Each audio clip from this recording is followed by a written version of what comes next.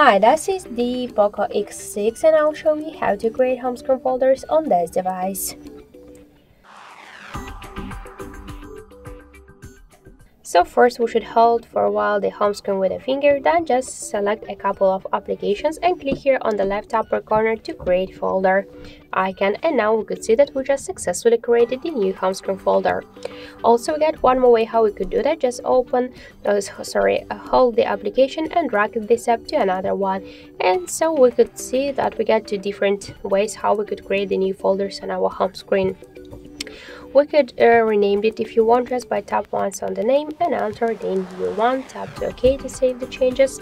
If you want to move folder here on the screen or between the screens, we should just hold and drag it. And to remove application from here, you could hold and drag it to the home screen. You could hold and tap to remove icon or also you could just hold the application uh, the folder and drag it to remove icon. So that's it, thank you for watching and if you like this video leave thumbs up and subscribe.